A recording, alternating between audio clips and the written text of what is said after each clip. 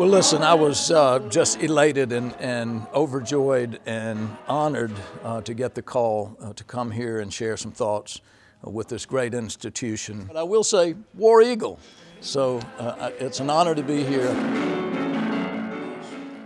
You know, we must look after our lands, agricultural lands, forest lands. Uh, we all know that we're dealing in a very interesting time in the world with climate change and the effects that we've all seen. They're, they're undeniable. And so to manage our lands properly, whether we're talking about forests or agriculture, or, you know, you have to do it.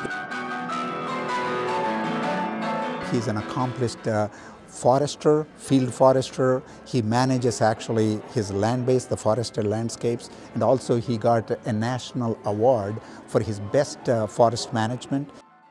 Well, I'm about to embark upon a little tour with a British band that I've been with 40 years now. Uh, called the Rolling Stones. And uh, we're going to go out and celebrate our 60th anniversary, the band's 60th anniversary